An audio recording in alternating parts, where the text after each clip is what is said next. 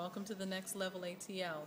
We are filming on the fabulous iPhone today, so we are just all up in here. And uh, we are out and about, so it's lovely. Anyway, we want to talk with you today about um, having done your soul homework, which we hope you have, and that's for men and women. We hope that you've done your homework. Take a look at that sheet again, put it to the side, but take a look at it briefly.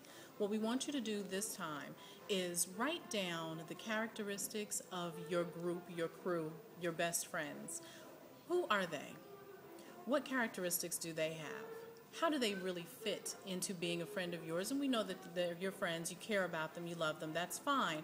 But we want you to evaluate them on paper so that you'll know whether or not they're actually keeping you from progressing to the next level in your relationships, be it romantic or otherwise. What you'll find most likely is that if you're feeling stunted or you're not experiencing growth, you're not finding that next level relationship, you can probably liken those characteristics to many of the characters on a well known reality show here that has Atlanta in its title. You know which one I'm talking about.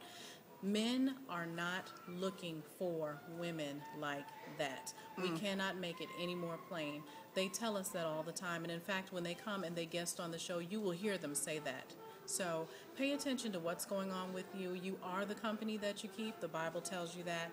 Pay attention to those characteristics and don't be afraid to do some spring cleaning if you really need to. Remember, you want to go to the next level and you can love somebody from a distance if that's what it takes.